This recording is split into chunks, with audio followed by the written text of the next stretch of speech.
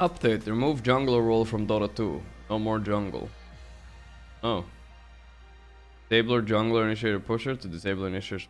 Oh, they don't give a fuck about the league players coming, googling jungler.